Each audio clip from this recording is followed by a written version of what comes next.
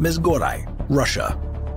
You may have heard about several abandoned towns or cities around the world that are restricted in terms of who can visit, but what about a fully functioning one?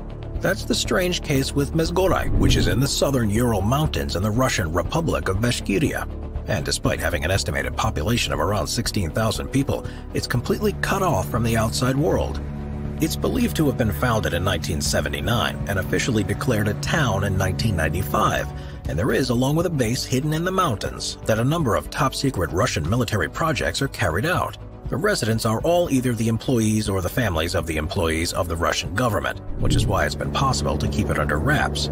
From what we do know about the town, it's likely the place, for example, where Russia kept 73 of their nuclear warheads during the Cold War, and there are suggestions it's the location of the country's Dead Hand project that can supposedly launch a nuclear assault on the rest of the world automatically.